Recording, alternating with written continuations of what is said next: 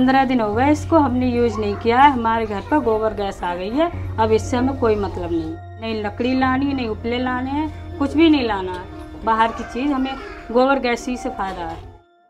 नमस्कार दोस्तों, गाय के गोबर ने इन महिलाओं की बहुत बड़ी परेशानी हल कर दी है।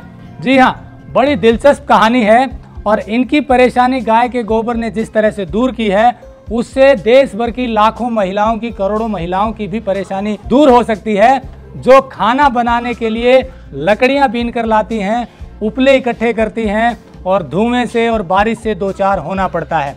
तो गाय के गोबर ने इनकी धुएँ से, लकड़ियों से, उपलों से कैसे पीछा छुड़वाया, इसकी कहानी इन्हीं से जानेंगे।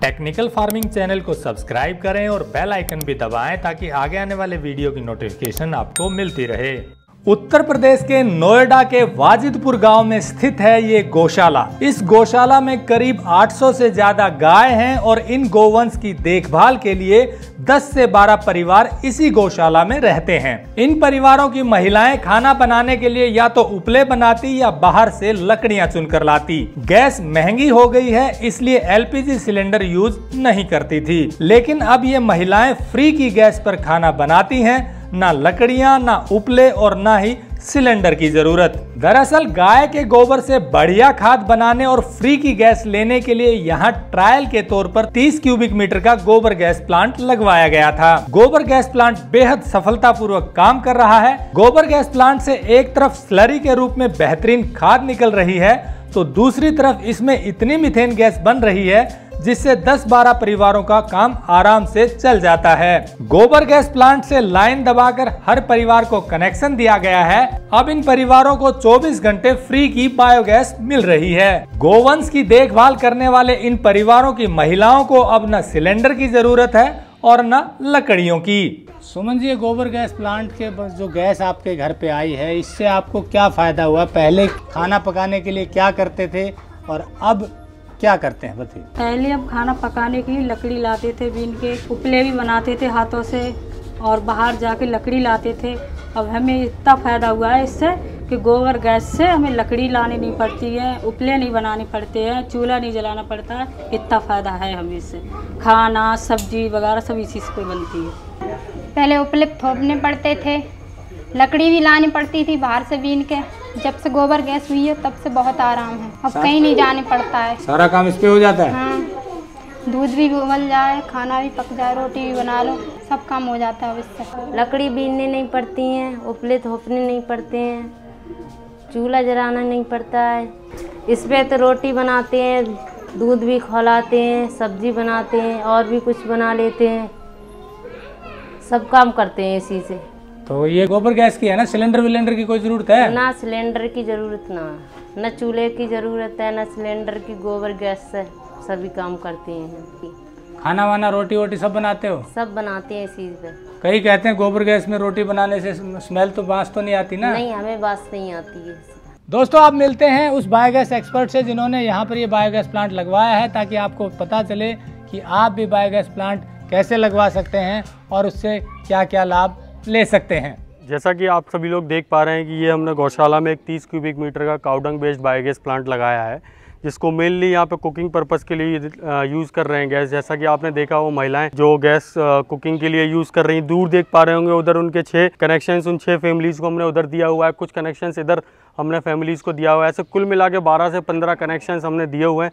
बारह से पंद्रह परिवार इस पर अपना भरपूर तरीके से कुकिंग कर पा रहे हैं, उनके लिए सफिशेंट गैस है और बहुत अच्छे से इस प्लांट को रन कर रहे हैं वो लोग।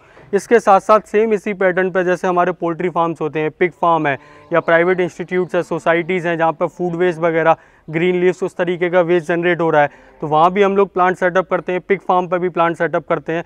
तो जहाँ भी जो भी वेस्ट जनरेट हो रहा है, उसको वहीं हम सोर्स पर ही सोर्स पर ही उसका सॉल्यूशन प्रोवाइड करते हैं। जिससे आप बायोगैस वहाँ पर जो बायोगैस बनी, उस बायोगैस से फिर आप पावर जनरेट कर सकते हैं कुकिंग भी कर सकते हैं पाइपलाइन के थ्रू कनेक्शंस दिए जा सकते हैं, और बड़े स्केल पे जा सकते हैं, कोई इंडस्ट्रीज़ है जहाँ बहुत ज़्यादा बल्क में क्वांटिटी में बायोडिग्रेडेबल वेस्ट प्रोड्यूस हो रहा है तो वहाँ पे भी हम सीवीजी प्लांट उस तरीके का सेटअप कर सकते हैं। गैस के साथ साथ जो एक चीज़ जो हम भूल जाते हैं, क्योंकि बायोगैस प्लांट का ध्यान आती है, हमारा जो सारा फोकस है, वो शिफ्ट हो जाता है गैस के ऊपर। लेकिन जो सबसे इंपॉर्टेंट पार्ट जो है इस प्लांट का, जिसको हम कह सकते हैं कि मेन प्रोडक्ट है, हमारे जो प्लांट का, वो है बायोगैस स्लरी ये स्लरी जब प्लांट के अंदर से निकलती है, बहुत ही ज़्यादा न्यूट्रिएंट रिच रहती है। इसके अंदर कार्बन नाइट्रोजन सल्फ़र जो भी सॉइल को न्यूट्रिएंट्स की रिक्वायरमेंट है, वो सारे न्यूट्रिएंट्स इसके अंदर ऑलरेडी होते हैं। इसको डायरेक्टली एज इट इज़ हम एज अ मैन्योर यूज़ कर सकते हैं। अपने खेती में एग्रीकल्चर में फार्मर्स यूज़ कर सकते हैं इसको।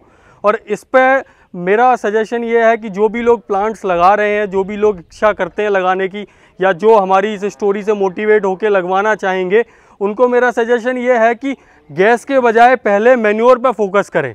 मैन्योर का हम कैसे मैक्सिमम यूटिलाइज कर सकते हैं, कैसे ज़्यादा से ज़्यादा फार्मर्स को, कैसे ज़्यादा से ज़्यादा लोगों तक हॉर्टिकल्चर पर्पज़ में उस तरीके से इसका उपयोग कर सकते हैं। आपके पास कोई भी बायोडिग्रेडेबल वेस्ट अवेलेबल है अपना पोल्ट्री फार्म का है पिग फार्म का है काउडंक है, आपके पास फ़ूड वेस्ट है, किसी भी क्वांटिटी में एक किलो से लेके एक हज़ार दस टन, पचास टन तक अवेलेबल है तो आप बायोगैस प्लांट लगवा सकते हैं और आपको ज़रूर लगवाना चाहिए बायोगैस तो दोस्तों, अब इस गौशाला में लगे हुए बायोगैस प्लांट से, गोबर गैस प्लांट से इन घरों में निरंतर सप्लाई हो रही है गैस की और न इनको कुछ खर्च करना पड़ रहा है।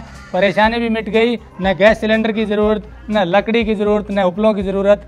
बस चूल्हा ऑन कीजिए और खाना बनाइए। हमें उम्मीद है कि जहाँ जहाँ गौशालाएँ हैं, जिनके पास पशु हैं, या जहाँ भी बायोडिग्रेडेबल वेस्ट है, वो सब बायोगैस प्लांट ज़रूर बनवाएँगे। नमस्कार, जय हिंद।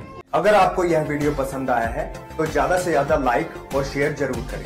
साथ ही चैनल को सब्सक्राइब करना ना भूलें।